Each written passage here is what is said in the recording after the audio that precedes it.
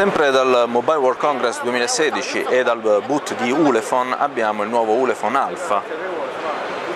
che in questo caso ha una cover nera ma sarà disponibile anche in altri colori, sarà ad esempio il bianco, il gold, il grigio chiaro e anche il grigio scuro. La cover è in plastica ma ha questa bella finitura ruvida che migliora il grip, la presa, nasconde anche lo sporco le ditate e anche molto piacevole al tatto.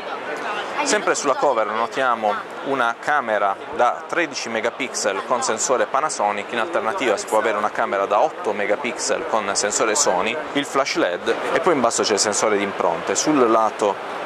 destro abbiamo il pulsante d'accensione, due bottoni separati per la regolazione del volume,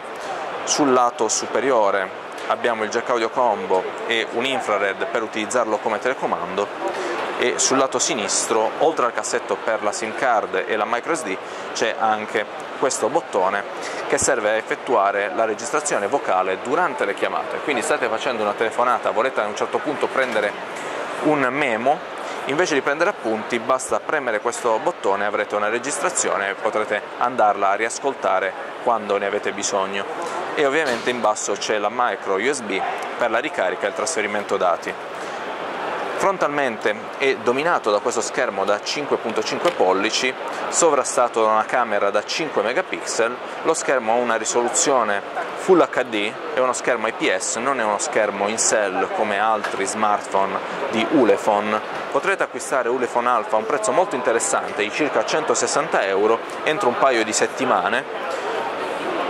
e poi ultimo dato per quanto riguarda la dotazione hardware, perché all'interno troviamo un processore MediaTek MT6753 octa-core o in altre configurazioni MT6735 quad-core, ovviamente con LTE 4G integrato, 2 GB di RAM e 16 GB di storage. Il sistema operativo ve lo mostro e ovviamente Android 6.0 Marshmallow.